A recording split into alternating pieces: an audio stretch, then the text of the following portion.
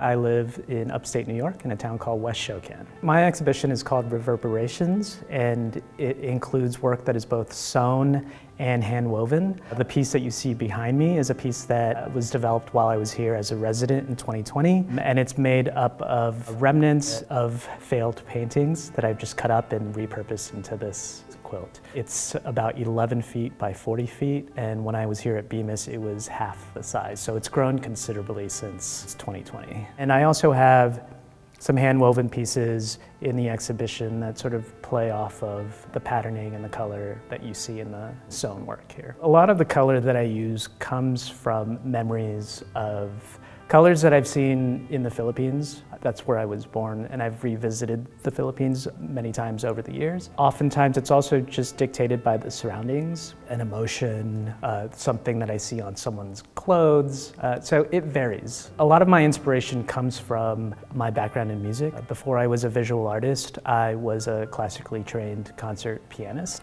Music has been a constant inspiration for me, just in terms of composition, thinking about color. Music and visual arts share similar languages when you're describing each of them, just in terms of harmony and dissonance of colors, the rhythm of compositions, syncopation, symmetry, etc. While I'm not a concert pianist, the training that I've had has still lingered and it shaped the way that I, I make my work today.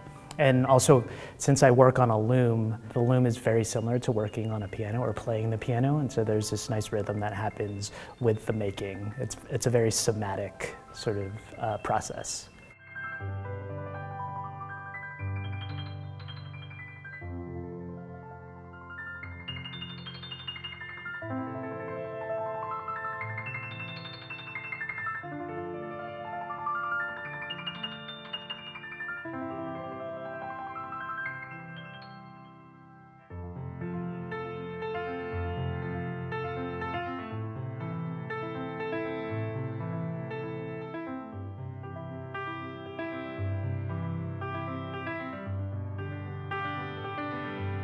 I was a resident at Bemis in 2020. The one thing that Im immediately struck me was uh, the facilities, the scale.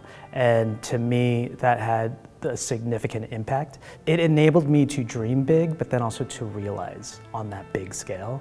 One of the most important things that happened during that residency was a shift in scale. Prior to that time, I had never really considered making work that was site specific or really large. I up until then, a lot of my work was wall-based, kind of like hung paintings, more moderately scaled. And so being at Bemis allowed me to really conceive on a larger scale. I made a wrapped column in my studio, and that was sort of, that was the inspiration for wrapping these four columns in the gallery. It also enabled me to, to see this quilt piece in its entirety, which I've never been able to do prior to then. And that shift in scale was, was huge, and it was a game changer for the rest of my time there and afterwards. In this gallery space, I knew immediately that I wanted to have the large quilt on this wall just because it was a wall that was big enough to accommodate the scale of this piece. And then also seeing the opposing wall, which you're not seeing right now, it's sort of thinking about a reversed mirrored relationship. So